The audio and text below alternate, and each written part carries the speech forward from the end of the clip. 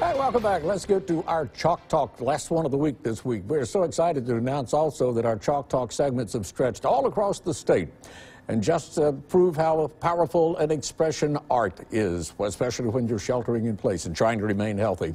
And we have some new submissions today to prove that point, especially our first one. This one is You Are Stars. Lisa Leatherman is the assistant principal at Belle Shivers Middle School. She created this sign for all of her scholars, and we did a little research. We found out that Belle Shivers is in North Mississippi, up in Aberdeen.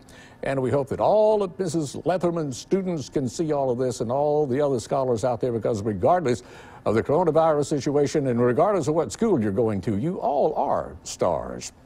Then our next one is entitled Beautifully Shattered Routine 2020.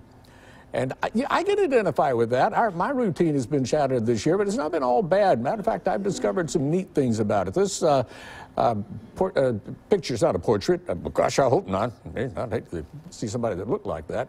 Anyway, the picture was sent in by artist uh, Callie and Katie Gray. The pair is a mother-daughter daughter duo, and they're from Brandon. And then next we have No Place Like Home, because there truly is no place like home.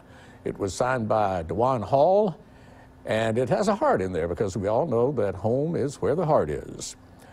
And the heart of the home is the kitchen. A man would know that.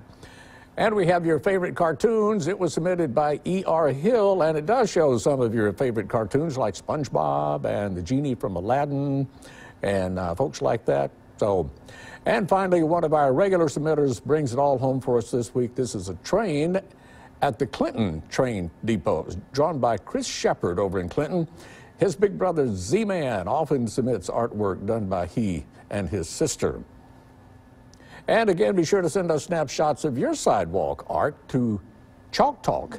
WJTV.com, at WJTV.com. That's an email address.